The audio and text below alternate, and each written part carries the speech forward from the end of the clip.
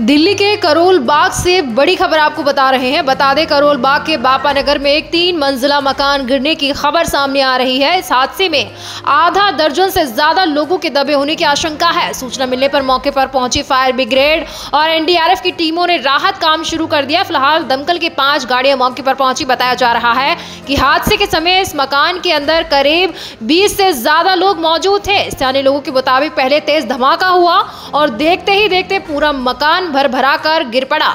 इससे आसपास के मकानों को भी नुकसान पहुँचा है। दिल्ली पुलिस के मुताबिक सुबह करीब नौ बजे बापानगर इलाके से इमारत ढहने की सूचना मिली थी। बता दें, अब तक सात लोगों को बचाया जा चुका है। आशंका है कि कुछ और लोग फंसे हो सकते हैं। स्थानीय पुलिस और अन्य एजेंसियों के साथ मिलकर बचाव अभियान चल रहा है।